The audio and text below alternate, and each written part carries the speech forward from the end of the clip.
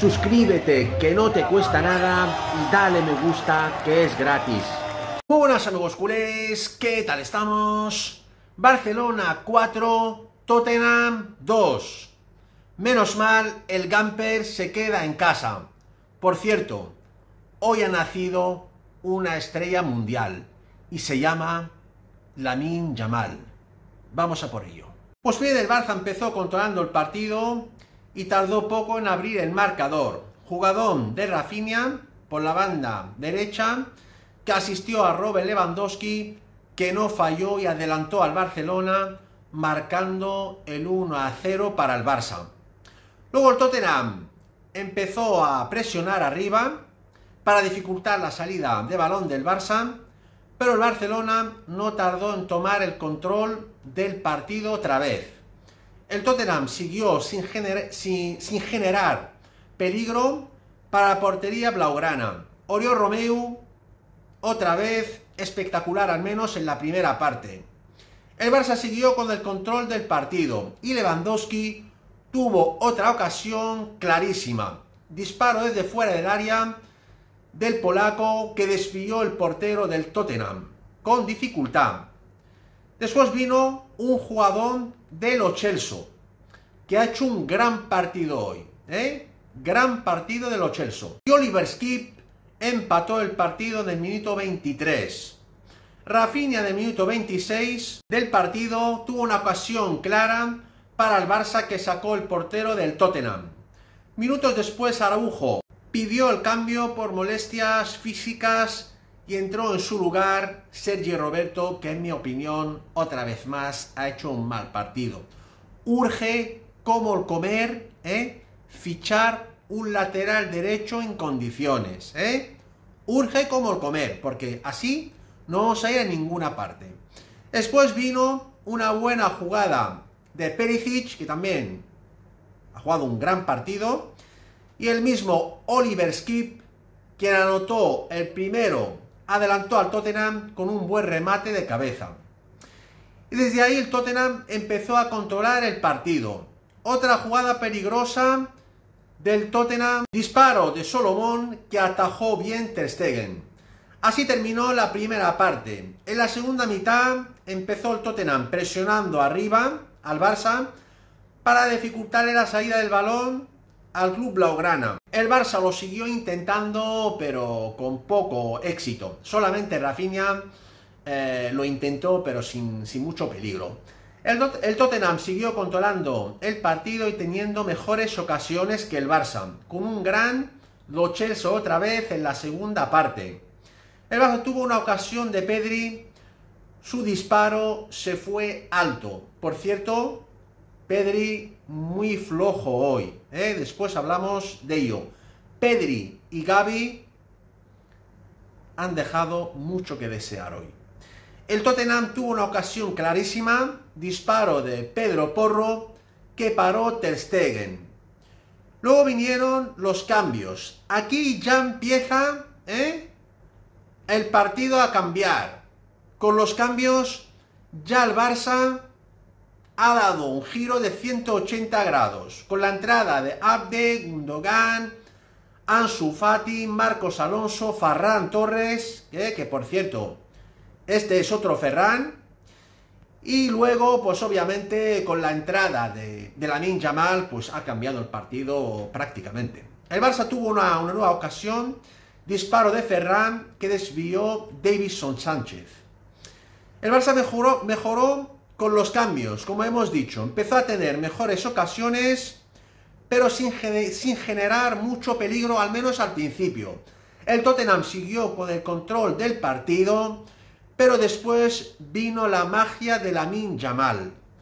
Hoy ha nacido, en mi opinión, una estrella mundial. Desde la entrada de este chaval, el partido ha cambiado salía pura magia de sus pies. Jugador de la joya de la cantera, Lamin, asistió a Ferran y como hemos visto, pues eh, el jugador valenciano, el delantero valenciano no ha fallado. Este Ferran, eh, ojo, tres partidos, tres goles, pues al menos está haciendo méritos para seguir. No tiene nada que ver con el Ferran de la temporada pasada. Yo sinceramente le deseo suerte y ojalá triunfe en el Barcelona. Y Ferran, como hemos dicho, empató el partido.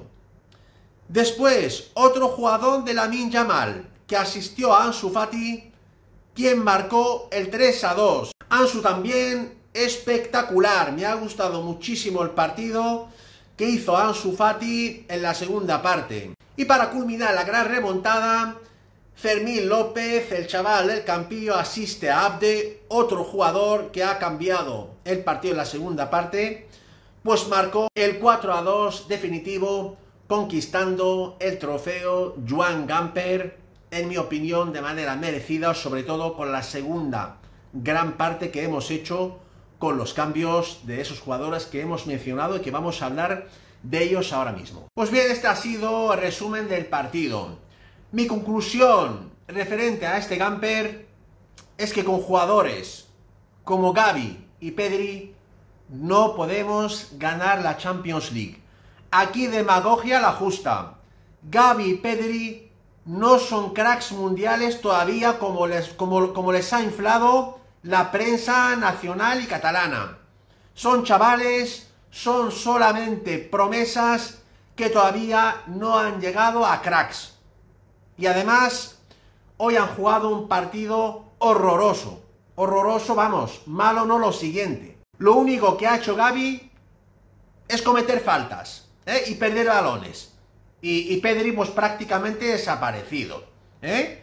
O sea que ganar la Champions con estos dos jugadores que no tienen la culpa, que la culpa la tiene la prensa de inflarlos, que son chavales, son jóvenes, hay que tener paciencia, ¿eh? son promesas, no son cracks, ¿eh? nivel Dios como Ronaldinho, como lo como, como ha dicho varias veces la prensa, ¿eh? que tiene la culpa de todo esto, que los chavales tienen una presión tremenda, que les quema el balón en el pie, con jugadores así, el Barça no va a poder ganar la Champions.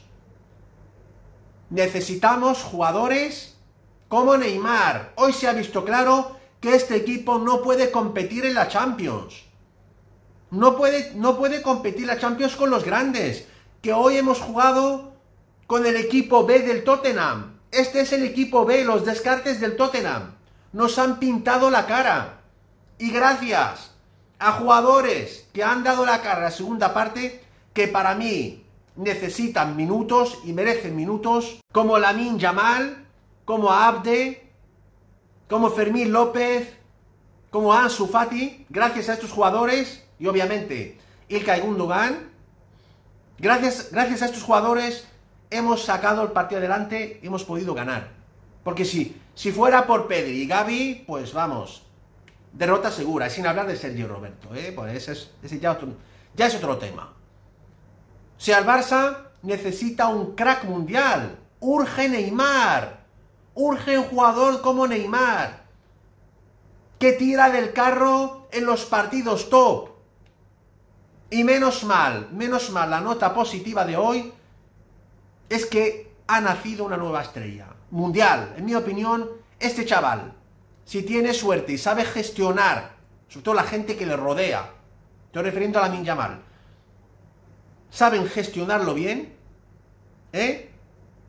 Este chaval va a llegar a ser un crack mundial. Es que lo que ha hecho hoy ha sido impresionante. Hoy impresionó a todo el mundo la Yamal.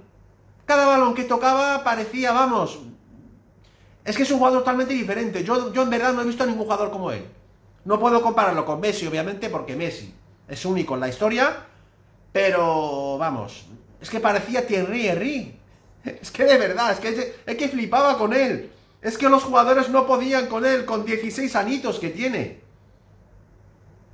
La nota positiva de este partido. Es más, yo puedo ponerlo por delante de Rafinha en muchos partidos y darle más confianza. Eso que Rafinha, ¿eh? Es un jugador que, que, merece estar ahí en el Barça.